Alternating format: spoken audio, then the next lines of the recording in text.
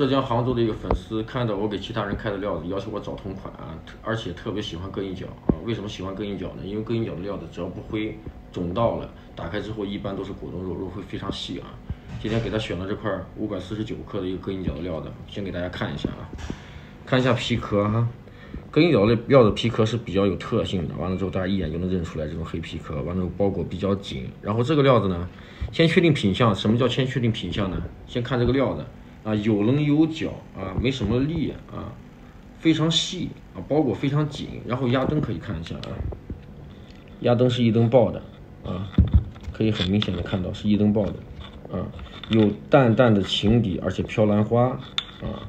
这样一个料子之后打开会是个什么样子呢？啊，果冻肉，青底，飘点小兰花，到底对不对？不服来战，现在开干，开给你们看。